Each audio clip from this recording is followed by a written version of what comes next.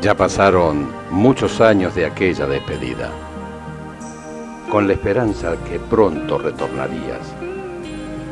Pero muy dentro de mí sabía que así no sería.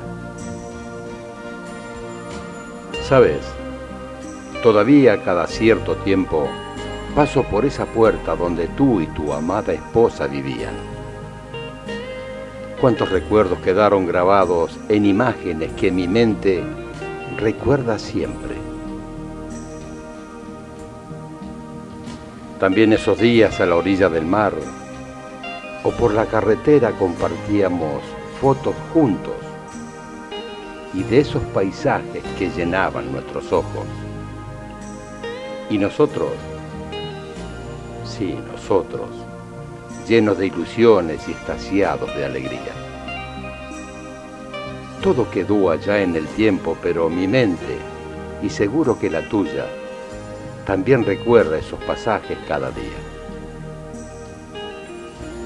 Ahora, hijo, la distancia hace tiempo separó aquellos momentos de felicidad y las pequeñas aventuras que compartíamos.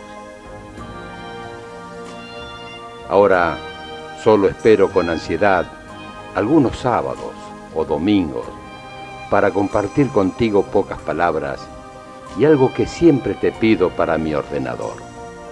Tú lo sabes, tenerlo al día. Pero sobre todas las cosas saber que esa lucecita verde me dice que estás ahí y me respondes. Y solo con eso la distancia ya no existe y aunque no lo presientas, me siento muy solo. Y tú en esos momentos me llenas el alma, me das vida. Y cuando esa luz no la veo encendida, algunas veces descargo mis penas y en silencio con los recuerdos afloran mis lágrimas.